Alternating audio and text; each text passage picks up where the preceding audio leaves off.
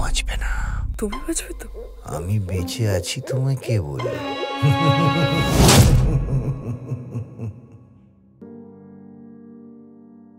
কি অবস্থা? সবার কেমন আছেন? দিস ইজ জাহিদ খান আপনারা দেখছেন Cinebros the right place for all the মহিলা মহিলাভার্স এখন আমি রিভিউ করব হইচইয়ের লেটেস্ট টিভি সিরিজ রক্তবিলাপ যেখানে অভিনয় করেন সোহিনী সরকার কাঞ্চন মল্লিক এবং তুহিন দাস এর গল্পটা ছিল এরকম সোহিনী সরকার এখানে একটা রিইউনিয়নের প্ল্যান করে এবং ওই পার্টিতে সে তার সকল বন্ধুদের ইনভাইট দেয় এবং যে জায়গাটায় আসলে এই পার্টিটা অ্যারেঞ্জ করা হয়, ওই জায়গাটা ছিল একদম রিমোট একটা এরিয়া সেখানে ফোনের নেটওয়ার্ক একদমই থাকে না, জঙ্গলের ভিতরে একটা জায়গায় এই আয়োজনটা করা হয়। ওই বাড়িটাতে যাওয়ার পর সবার কাছেই বেশ কিছু জিনিস একটু খটকা লাগে, একটু রহস্যময় মনে হয় এবং এরপরেই একে একে খুন হতে থাকে।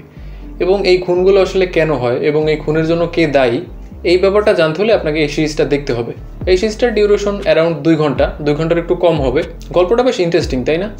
বাট এই গল্পটারও বেশ কিছু ড্রব্যাক আছে। সব ব্যাপারগুলি আমি আপনাদের সাথে একে একে শেয়ার করব। প্রথমত এখানে যে বন্ধুরা থাকে, তাদের সকল বন্ধুদের সাথেই তাদের পিছনের কিছু সমস্যা থাকে। একটা বন্ধুর সাথে অন্য বন্ধুর সম্পর্কের মাঝে একটা গ্যাপ থাকে। কিন্তু সমস্যা হলো এই বন্ধুদের যে ব্যাক স্টোরিটা এই ব্যাক স্টোরিটা আসলে খুব সুন্দরভাবে সাজানো হয়নি। এই সাজানোর স্ট্রাকচারটা আসলে খুব একটা ভালো ছিল না এক্সেপ্ট সোহিনী সরকার। তার ক্যারেক্টারটা ঠিকঠাক ছিল বাট এর বাইরে যে ক্যারেক্টারগুলো ছিল সিরিজটাতে তাদের কারোরই ক্যারেক্টারাইজেশন আসলে খুব একটা ভালো অবস্থানে ছিল না। এবং আরেকটা ইন্টারেস্টিং ব্যাপার হলো, এই সিরিজটার সাথে হলিউডের একটা mini series and then there were none এই সিরিজটার সাথে বেশ ভালো একটা মিল আছে। তো ওই সিরিজটাতে পার্টিকুলারলি কয়েকজন ব্যক্তিকে একটা দ্বীপে ইনভাইট করা হয়।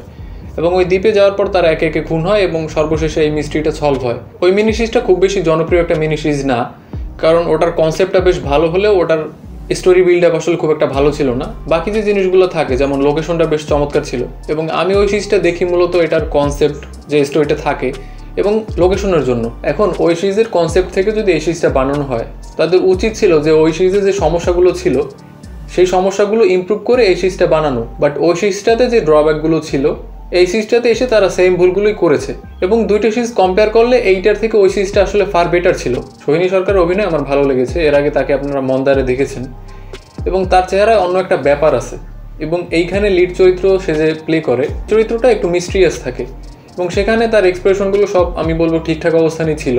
কিন্তু সমস্যা হলো এখানে একের পর এক বন্ধুরা খুন হচ্ছে। বাট সেটার ইম্প্যাক্টটা অন্য বন্ধুদের উপর আসলে সত্যিকার অর্থে পড়তেছে না। হ্যাঁ কয়েকটা বন্ধু আসলে স্যাড ফিল করতেছে। বাট এর বাইরে দুই তিনটা ক্যারেক্টার তারা সত্যিকার অর্থে আসলে কিছু ফিলই করতে পারতেছিল না। তো তাদের সম্পর্কের মাঝখানে আসলে বেশ বড়সড় একটা গ্যাপ থেকেই যাচ্ছিল। সিরিজটার আর একটা শক্তপোক্ত ইস্যুর কথা আপনাদের বলি। এই ব্যাপারটা আসলে চাইলেও অ্যাভয়েড করা সম্ভব না।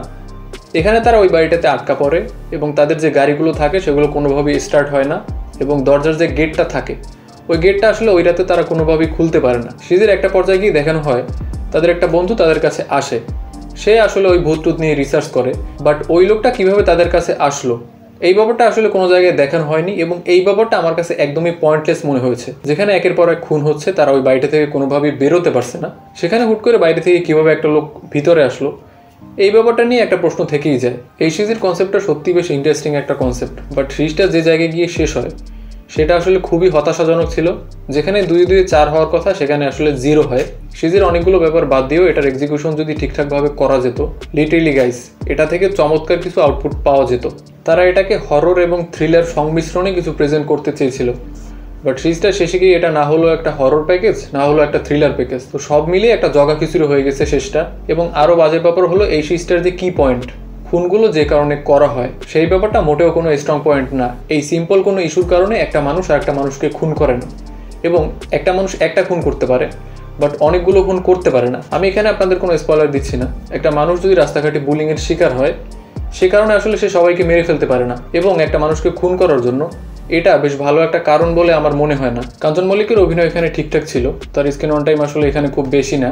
সে এখানে একটা উইয়ার রোল প্লে করে। হরর পোষণটাকে এখানে না রেখে, তারা যদি থ্রিলার ব্যাপারটাকে মূল পয়েন্টে রেখে গল্পটার সামনে নিয়ে যেত আই থিঙ্ক এটা থেকে বেটার কিছু ডেলিভার করা যেত। প্রতিটা ক্যারেক্টারকে ঠিকঠাকভাবে বিল্ড আপ দিয়ে তাদের ব্যাক স্টোরিটা সুন্দরভাবে দেখানোর মাধ্যমে প্রত্যেকটা ক্যারেক্টার আরও স্ট্রং করা যেত। সব মিলিয়ে সিরিজটা আমার কাছে আহামরি কিছু মনে হয়নি, এভারেজ একটা এক্সপিরিয়েন্স ছিল। I'm gonna give two point five out of five যারা অলরেডি রক্তবিলাপ দেখে ফেলেছেন, আপনাদের কেমন লাগল অবশ্যই কমেন্টে জানাবেন। ভিডিওটি দেখার জন্য অসংখ্য ধন্যবাদ। ভিডিওটি যদি ভালো লাগে চ্যানেলটি সাবস্ক্রাইব করার অনুরোধ রইল। আপনার সাথে আমার দেখা হচ্ছে নেক্সট কোনো ভিডিওতে। Till then tata. আপনি এক্সপেক্ট করেন যে আমাদের রিউনিয়ন এইভাবে হবে। তাও আবার মায়ার বাড়ি।